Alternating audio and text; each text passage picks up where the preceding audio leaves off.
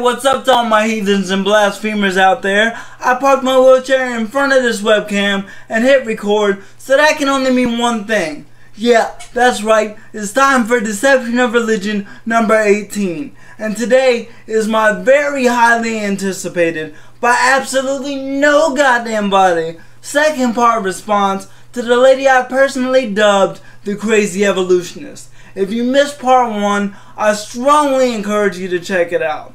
Why, you ask? Because it's my YouTube channel and I said so. That's why. I don't come to your YouTube channel asking questions, so just do it. nah, nah, I'm playing. Here's what you missed. So, this is a video for you atheists out there that uh, think that the Big Bang Theory is real and that's how we were all created. If we all evolved from fucking apes, why the fuck do we still have apes? Next year, the apes will take over the world. Apes who suddenly grew a brain and took over the world. Why the fuck don't you have three arms? So why the fuck don't you have three penises? Three arms, three penises. So you motherfuckers believe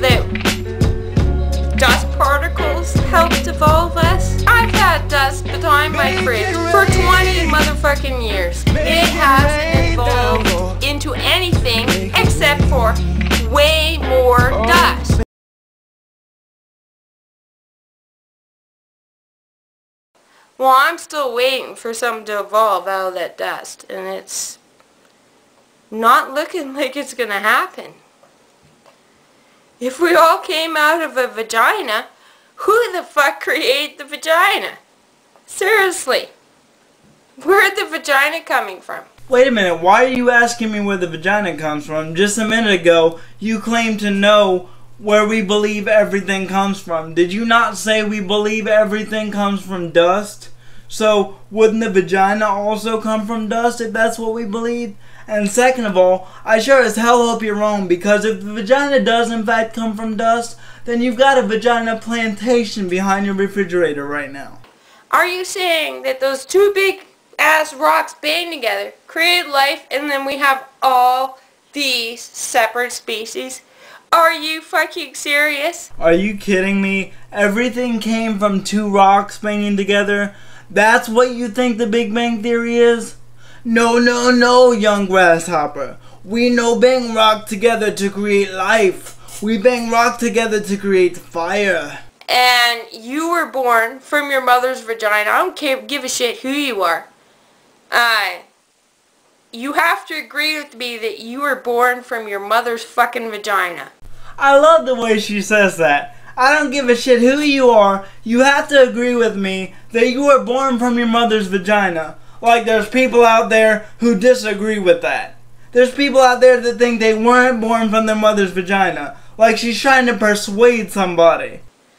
And if you disagree with me, you're basically saying immaculate conception. No, no, no, no, no. I never heard a more incorrect statement. That wouldn't be claiming immaculate conception. Immaculate conception is not not coming out of a vagina. Immaculate conception is the act of conceiving a child without sexual intercourse. It still has to come out of a vagina. Nobody is claiming that immaculate conception includes not coming out of a vagina. And yes, I'm making fun of you motherfuckers. Because Jesus was immaculate co uh, contraception, but you weren't. Jesus was immaculate contraception. Immaculate contra... Yes, yes, okay? Jesus was immaculately preventing a pregnancy. Per that's why he was born. Because that's what contraception means, you dumbass. It means something that prevents a pregnancy. You just said that Jesus was there immaculately to prevent a pregnancy. What? Face it, you weren't. Your daddy, well, did something with your mommy, and then there you came. That's how you were born. You weren't formed from fucking dust. No, you're right. The majority of us on this planet today were born through the means of sexual intercourse. No one is saying that babies born today are the result of dust evolution. That turned into monkeys that as far as I could see are still monkeys. Are you trying to say that we are the same as monkeys? Fuck right off now. No, no, no, no. No, I'm not I'm not trying to say we're the same as monkeys. So, you fellows, gals, atheists, believe that we all form from two rocks banging together? No one is saying that we came from two rocks banging together, you stupid, ignorant waste of carbon. You're not gonna get light by banging two rocks together. The most you'll get is a pretty house fire. Oh, it broke.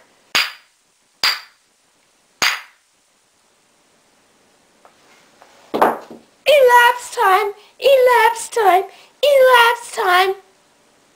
2,000 years. 2,000 fucking years go by. Let's have a look at what these rocks are doing. They're fucking not doing anything!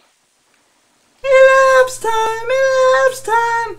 Saying elapsed time is not the same thing as elapsing time. Wow, 2,000 years have gone by already?